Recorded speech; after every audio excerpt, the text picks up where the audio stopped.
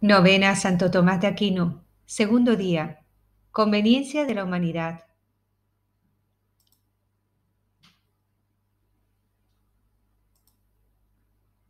En el nombre del Padre y del Hijo y del Espíritu Santo. Amén.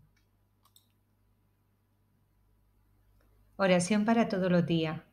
Oh vos, Dios mío, fuente de misericordia, me acerco yo, inmundo pecador, para que os dignéis lavar mis manchas Oh sol de justicia, iluminada a este ciego, oh médico eterno, sanada a este miserable, oh rey de reyes, vestida a este desnudo, oh mediador entre Dios y los hombres, reconciliar a este reo, oh buen pastor, acoger a esta oveja descarriada, otorgad, Dios mío, perdón a este criminal, indulgencia a este impío, y la unción de vuestra gracia a esta endurecida voluntad.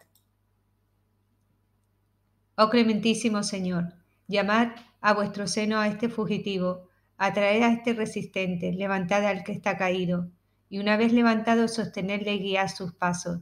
No olvidéis, Señor, a quien os ha olvidado, no abandonéis a quien os abandonó, no desechéis a quien os desechó, y perdonad en el cielo a quien ofendió en la tierra. Amén.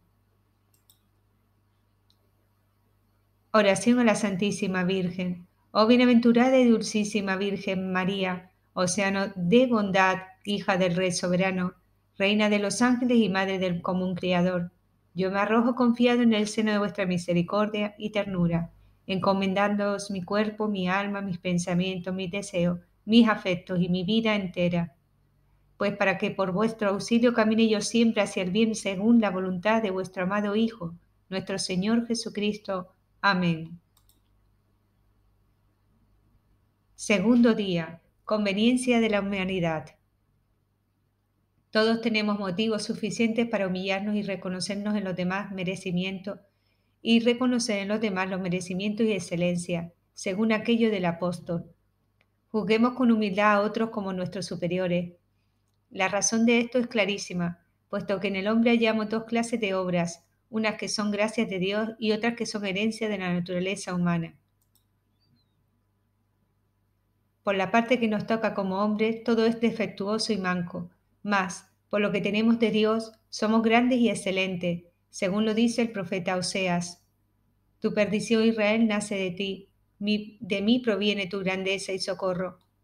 Y como la virtud de la humildad propiamente mira a Dios, a quien debe someterse la criatura, de ahí es que cada uno debe humillarse ante su prójimo, considerando en los demás los dones que tiene de Dios y viendo en ellos un como traslado y reverbero de la perfección infinita, como lo dice San Pedro.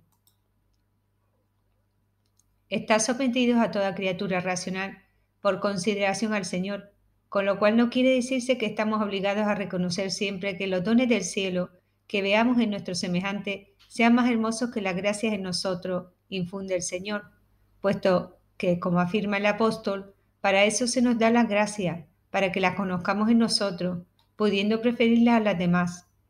Ni tampoco se nos exige que como hombres nos reconozcamos más imperfectos que el prójimo, pues la naturaleza reparte su gracia en distintas proporciones. Procuremos, sin embargo, mirar siempre en los demás algo de excelente y grande, que no tengamos nosotros para así vivir continuamente protegidos por la humildad, disimulando, como aconseja San Agustín, nuestro bienes y viendo en el prójimo los motivos sobrados de superioridad y excelencia. Ejemplo.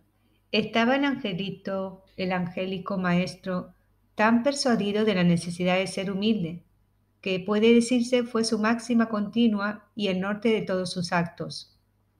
Con ser tan grande el santo doctor, jamás creyó en su grandeza, y siempre se mostró pequeño e inferior a los demás. En sus conversaciones nunca habló de sí, ni de la excelencia de su alcurnia y de la sublimidad de sus talentos.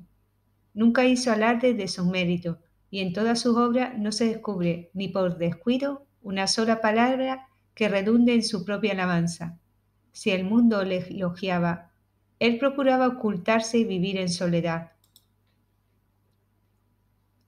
Si la Iglesia y las universidades querían honrar al gigante de la santidad y la ciencia, Tomás siempre se reputó pigmeo. declinaba esos honores y no quería más recompensa que Jesucristo y este crucificado. De Tomás dice la historia que diariamente pedía al Señor que le, que le conservase en el estado simple de religioso sin que jamás llegase a ningún oficio ni a dignidad alguna. Dios oyó a su dignísimo siervo y, sin el aparato de los títulos y empleos, le elevó sobre uno de los pedestales más altos y gloriosos que se destacan en la historia. Qué contraste ofrece esta humildad hermosísima del ángel de las escuelas, con la altanería ridícula e insufrible de muchos, que su color de ilustración y cultura aspiran a los empleos y al oficio donde aparece de relieve la ignorancia y escasez absoluta de suficiencia, de los que se creen el número uno en el escalafón de regeneradores y progresistas. Comprendamos como Santo Tomás de Aquino el mérito de la humildad y sigamos constantemente la senda escondida de los verdaderos sabios. Ahora pídase la gracia especial que se quiera conseguir y luego récese tres Padres Nuestros y Ave María con su gloria y patria en reverencia de la humildad, sabiduría y pureza angelical de Santo Tomás de Aquino. Padre nuestro que estás en el cielo, santificado sea tu nombre, venga a nosotros tu reino, hágase tu voluntad en la tierra como en el cielo. Danos hoy nuestro pan de cada día, perdona nuestras ofensas como también nosotros perdonamos a los que nos ofenden. No nos dejes caer en tentación y líbranos del mal. Amén. Dios te salve María, llena eres de gracia, el Señor es contigo. Bendita tú eres entre todas las mujeres, y bendito es el fruto de tu vientre Jesús. Santa María, Madre de Dios, ruega por nosotros los pecadores, ahora y en la hora de nuestra muerte. Amén. Gloria al Padre, al Hijo y al Espíritu Santo, como era en el principio, ahora y siempre, por los siglos de los siglos. Amén. Padre nuestro que estás en el cielo, santificado sea tu nombre Venga a nosotros tu reino, hágase tu voluntad en la tierra como en el cielo. Danos hoy nuestro pan de cada día y perdona nuestras ofensas, como también nosotros perdonamos a los que nos ofenden. No nos dejes caer en tentación y líbranos del mal. Amén. Dios te salve María, llena eres de gracia, el Señor es contigo. Bendita tú eres entre todas las mujeres y bendito es el fruto de tu vientre Jesús. Santa María, Madre de Dios, ruega por nosotros los pecadores, ahora y en la hora de nuestra muerte. Amén. Gloria al Padre, al Hijo y al Espíritu Santo, como era en el principio, ahora y siempre, por los siglos de los siglos. Amén. Padre nuestro que estás en el cielo, santificado sea tu nombre. Venga a nosotros tu reino. Hágase tu voluntad en la tierra como en el cielo. Danos hoy nuestro pan de cada día y perdona nuestras ofensas, como también nosotros perdonamos a los que nos ofenden. No nos dejes caer en tentación, y líbranos del mal. Amén. Dios te salve María, llena eres de gracia, el Señor es contigo. Bendita tú eres entre todas las mujeres, y bendito es el fruto de tu vientre Jesús. Santa María, Madre de Dios, ruega por nosotros los pecadores, ahora y en la hora de nuestra muerte. Amén. Gloria al Padre, al Hijo y al Espíritu Santo, como era en el principio y siempre, por los siglos de los siglos. Amén. Antífona. Oh Santo Tomás, gloria y honor de la orden de predicadores, transportanos a la contemplación de las cosas celestiales. Tú que fuiste maestro soberano de los sagrados misterios, ruega por nosotros, Santo Tomás, para que nos hagamos dignos de las promesas de Jesucristo.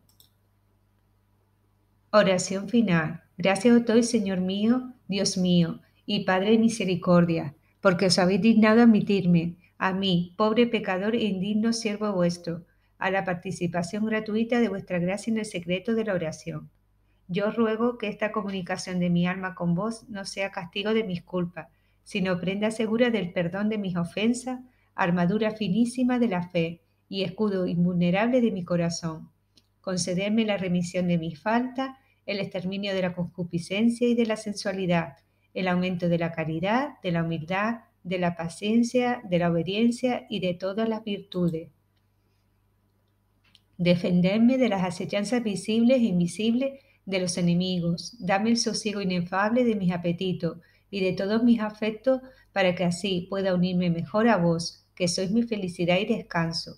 Suplico también, Dios mío, que después de mi muerte os admitirme a la Pascua celestial y al convite divino donde vos, en unión del Hijo y del Espíritu Santo, sois luz verdadera, abundancia perfecta, gozo sempiterno, alegría consumada y felicidad sin medida. Amén.